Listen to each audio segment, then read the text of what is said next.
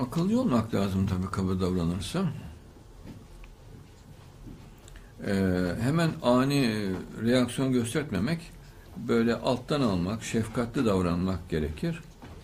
İlk tedbir olarak bu iyidir. Yani e, iki yönden iyi.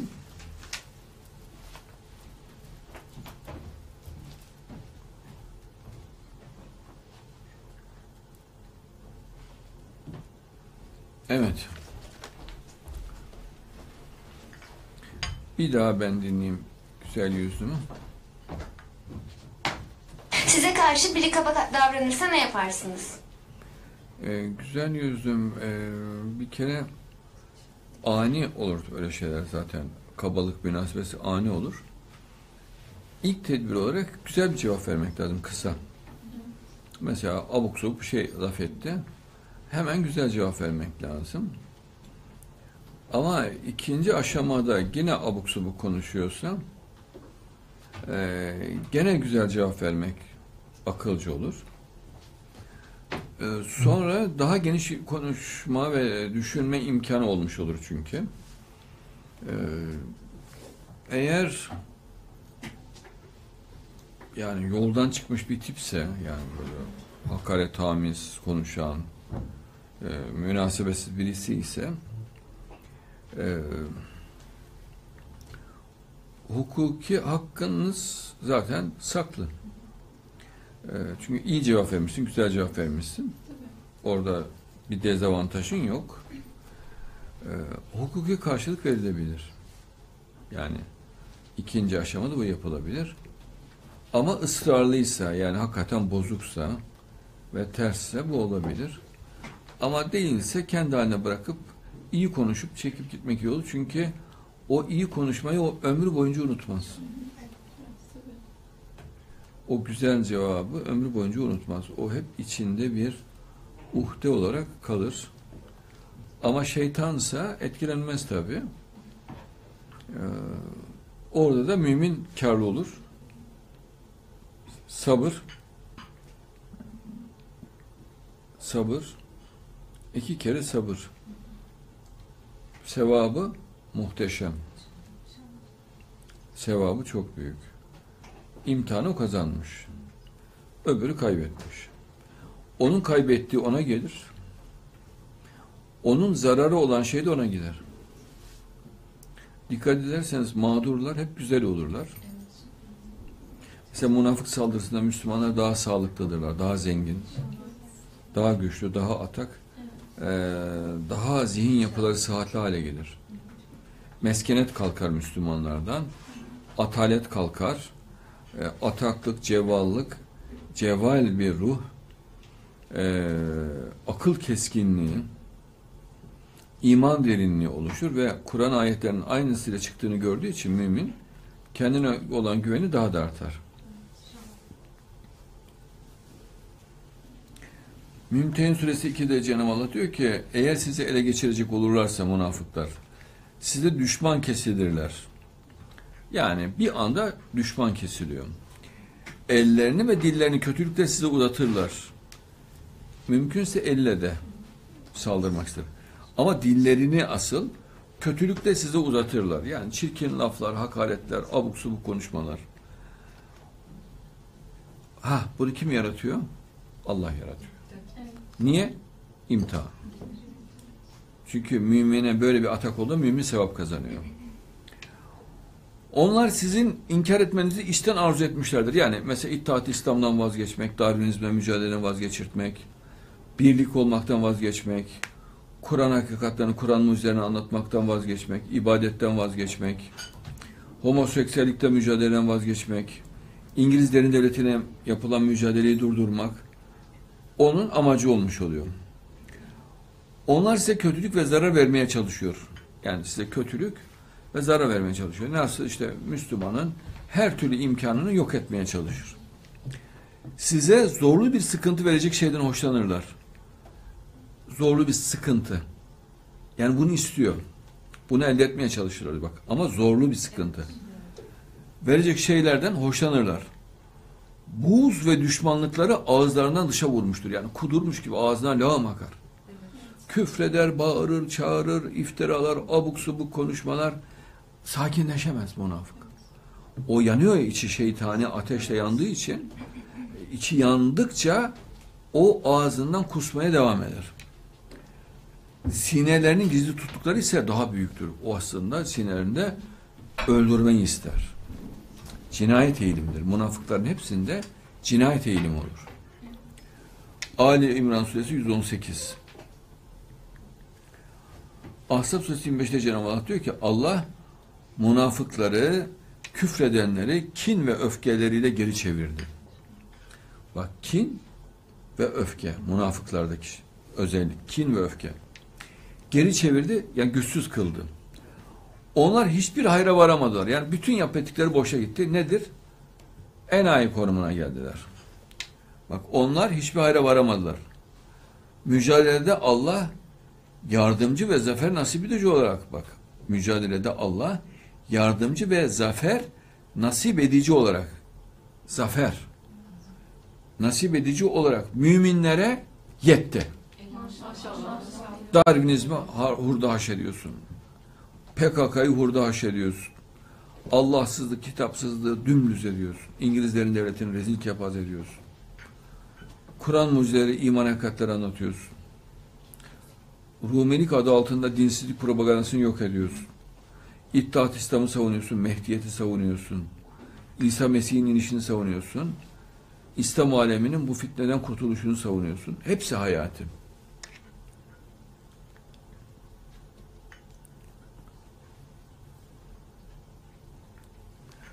Bak Allah mücadelede Allah zafer nasip edici olarak müminlere yetti. Allah çok güçlüdür, üstün ve galip olandır. Allah demek istiyor ki ya, münafığın hiçbir gücü yoktur. Sakın dikkatiniz dağılmasın. Ya onların sırtlan gibi böyle böğürtüler çıkartması falan hiçbir şey olmaz diyor Allah. Bak üstün ve galip olandır. Yani siz üstün ve galip olacaksınız diyor Allah. Allah'ın üstün ve galip olması müminlerin üstün ve galip olması anlamındadır ayet. Ali İmran suresi 119 kendi başlarına kaldıklarında ise kendi aralarında toplandıkları mesela sırtlan sürüsü gibi toplandıklarında ise size olan kin ve öfkelerinden dolayı parmak uçlarını ısırırlar. Akıl almaz bir kin ve öfke. Parmak uçlarını ısırırlar. De ki kin ve öfkenizle ölün.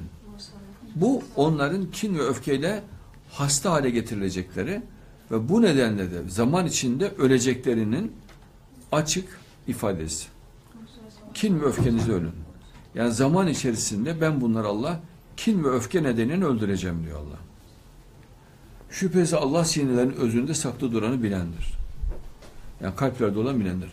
Ama bak kin ve öfkenin onların ölümüne sebep olacağını söylüyor Allah.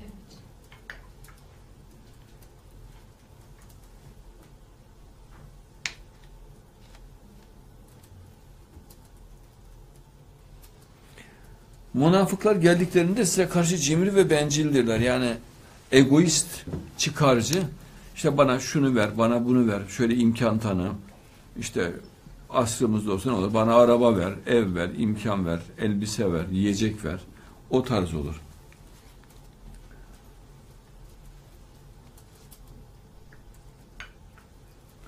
Bak size karşı cimri. Yani Müslümana bir şey gelsin istemez münafık. Gitmesini ister. Ama bencil, egoist, kendisine gelmesini ister. Şayet korku gelecek olsa ölümden dolayı üstüne baygınlık çökmüş kimseler gibi gözleri dönerek sana bakmakta olduklarını görürsün. Mesela çığlık atarak korkuyla masanın altına giriyor farz edelim. Veyahut vıcık vıcık terliyor, leş gibi kokmaya başlıyor korkudan dolayı. Gözleri noktalaşıyor, dehşet içinde bakıyor. Bunu ne zaman gördük? Mesela 15 Temmuz'da gördük bazı münafıklarda. Ne diyor ayette? Şayet korku gelecek olsa ölümden dolayı üstüne baygınlık çökmüş kimseler gibi gözleri dönerek sana bakmakta olduklarını görürsün. Baygın. İnşallah. Değil mi? Baygın münafıklar da oluyor. Direkt baygın yani adam. Oradan baygın değil mi? Bak şayet korku gelecek olsa ölümden dolayı üstüne baygınlık, baygınlık çökmüş kimseler gibi gözleri dönerek sana bakmakta olduklarını görürsün. Demek ki bakışlarında da bir anormallik var. Korku gidince hayra karşı oldukça düşkünlük göstererek yani çıkara oldukça düşkün mesela çok fazla işte bana şunu ver, bana şu imkanı ver diyerek sizi keskin dilleriyle eriştir, eriştirerek karşılarlar. Yani şeytani bir yetenekle keskin dilleriyle sizi eleştirirler diyor. İşte şunu niye böyle yaptın, bunu niye böyle yaptın? İşte onlar iman etmemişlerdir. Bunun münafığın asıl özelliği iman etmemeleridir diyor Allah. Böylece Allah onların yaptıklarını boşa çıkarmıştır. Yani enayi konumuna geldiler diyor Allah. Bütün yapı ettikleri boşa çıkmış. Yani yaptığından hiçbir şey kazanamamış. Bu Allah'a göre pek kolaydır diyor Allah.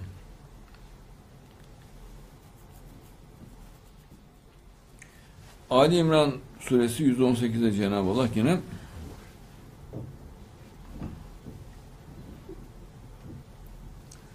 Ey iman edenler sizden olmayanları, münafıkları sırdaş edinmeyin. Ya onlarla gizlice görüşmeyin. Onlar size kötülük ve zarar vermeye çalışıyor. Bak kötülük ve zarar vermeye çalışıyor. Size zorlu bir sıkıntı verecek şeyden hoşlanırlar. İşte kendilerince abuk subuk konuşarak Müslümanı zorlu bir sıkıntıya sokacağını düşünürler. Buğz ve düşmanlıkları ağızlarından dışa vurmuştur. Yani lağım gibi ağızlarından akıyor diyor Allah. Düşmanlıkları, kinleri. Sinelerinin gizli tuttukları ise daha büyüktür. Yani ölüm, öldürme hissi olur diyor münafıklarda. Cinayet eğilimi vardır. Size ayetlerimizi açıkladık. Belki akıl erdirirsiniz diyor Allah.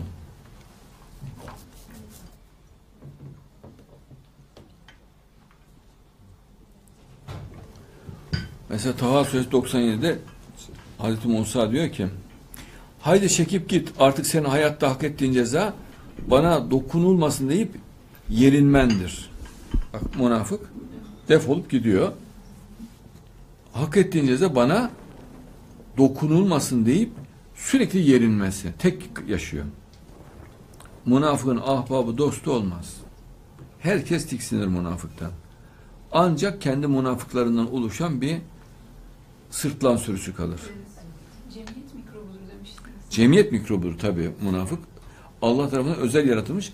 Yani çocukluğundan itibaren şaki karakterlidir. Çocukluktan itibaren anlaşılır onun şeytan karakterli olduğu. Sonra Müslüman gibi görünür. Yine o şakiliğine yeniden geri döner. Tövbe suresi 14'te Cenab-ı Allah diyor ki münafıklarla mücadele edin. Allah onları sizin ellerinizle azaplandırsın. Hor ve aşağılık kılsın. Yani onları aşağılamak, horlamak farz, Allah'ın emri. Ve onlara karşı size zafer versin.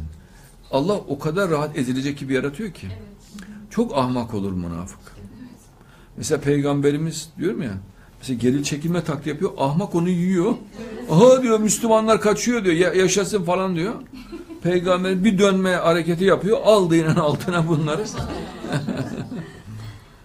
Ve müminler topluluğunun göğsünü şifaya kavuştursun. Münafığın ezilmesi müminlere şifa, zenginlik, bereket, mutluluk ve sevinç vesilesidir.